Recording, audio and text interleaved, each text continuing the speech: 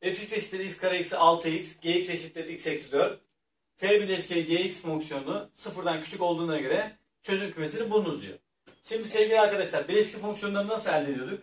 f bileşke g fonksiyonu şu şekilde elde ediliyor. f yerine ne yazıyoruz? x kare eksi 6x. g yerine ne yazıyoruz? x eksi 4. Arada ne var? Bileşkemiz var.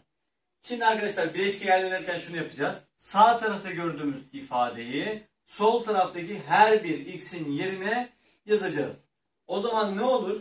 x eksi 4'ün karesi. Bakın x'in yerine ne yazdık? x eksi 4'ün karesi. Eksi 6 çarpı x'in yerine ne yazdık? x eksi 4 yazdık. Ve bize bu ifadenin ne olmasını istemiş? Sıfırdan küçük olmasını istemiş. Şimdi sevgili arkadaşlar bu ifadeyi biraz daha çarpanlarına ayırmak için x eksi 4 parantezine alalım. Peki buradan ne kaldı? x eksi 4. Çünkü niye x eksi 4'ün karesi? x eksi 4 çarpı x eksi 4'tür. Ben x eksi 4 parantezine aldığım zaman x eksi 4'ün biri burada olur, diğeri de burada olur. Peki buradan ne kalır? Eksi 6. Küçüktür 0.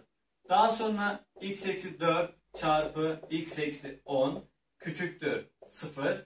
Ve buradan x'in birinci değeri 4, x'in ikinci kök değeri ne yapar? 10 olur. Tabloya koyacağım değerler 4 ve 10'dur. Şimdi gelin 4 ve 10 için tablomuzu yapalım. Evet. Artı sonsuzdan eksi sonsuza fx e, f bileşke g x fonksiyonunu inceliyoruz. İşaretimiz ne arkadaşlar? Artı. Burada da artı. Artı ile artının çarpımı artı. Burada kökümüze geldik eksi. Burada ne oldu tekrar? Artı. Bana sıfırdan küçük olduğu yeri soruyor o zaman.